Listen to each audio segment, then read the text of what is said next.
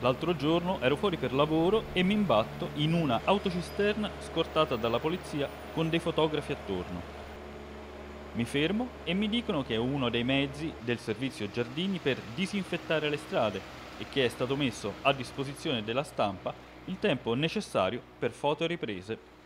Raggiunto il punto prestabilito, l'autobotte parte in piena luce, avanza in un arcobaleno di disinfettante, per la gioia degli obiettivi.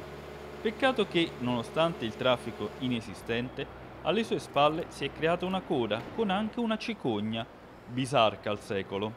Un istante e per un po' è traffico.